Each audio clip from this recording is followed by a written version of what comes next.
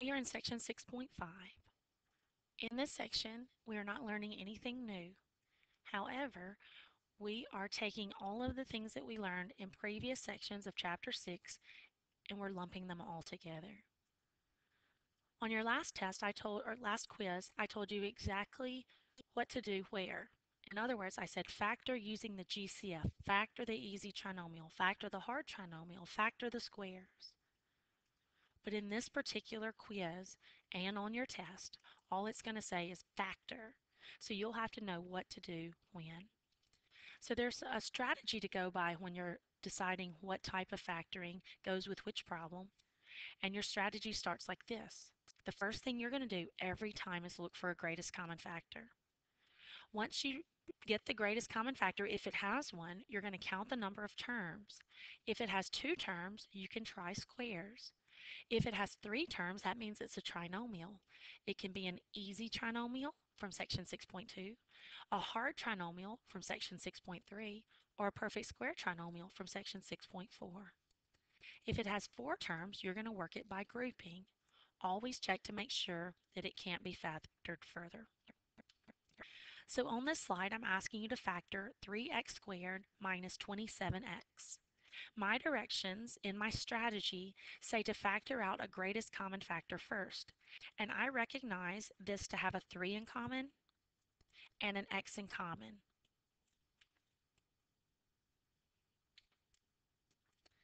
So I'm going to take out a 3 and an x.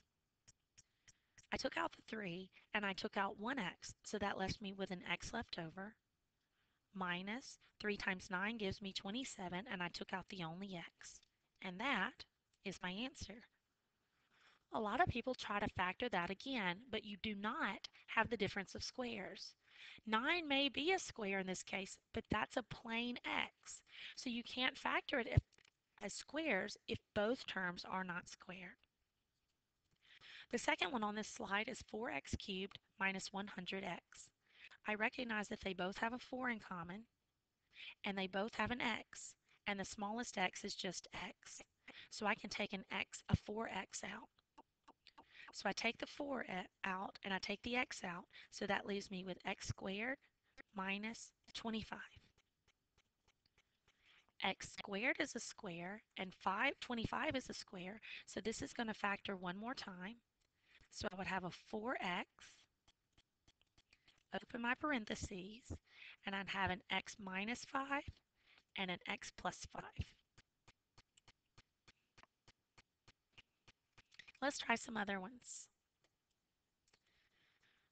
My next problem says 16x squared minus 4xy minus 12y squared. First, I'm going to look to see if it has a greatest common factor. I know that it does not have a number in common because the first term does not have a number. I know it does not have an x in common because the last term does not have an x. I see that all terms do not have a y, so that means that this one does not have a GCF. It does have x squareds on the front and y squareds on the back, so that means x times x on the front and y times y on the back. This is an easy trinomial because it starts with a 1x squared. Reading it backwards, I'm looking for the factors of 12 that subtract to give me 4. So that would be 6 times 2. I'm combining a 6 and a 2 in order to get a minus 4. So that means the 6 needs to be negative and the 2 positive. And that would be your answer, x minus 6y, x plus 2y. The next problem is 16a cubed b squared minus 4ab squared. I see off the top of the step one, off from the front, I see that this has a GCF. I see they both have a 4. I see they both have an a, and they both have a b squared.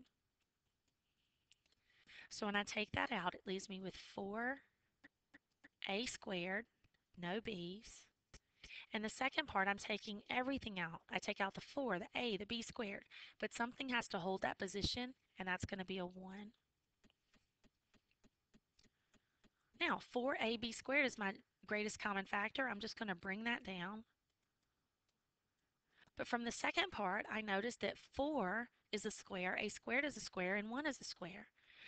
So I can open this up as the difference of squares, and this would be 2a and 2a on the front, and one and one on the back, one's positive and one's negative. And that's how that one would factor.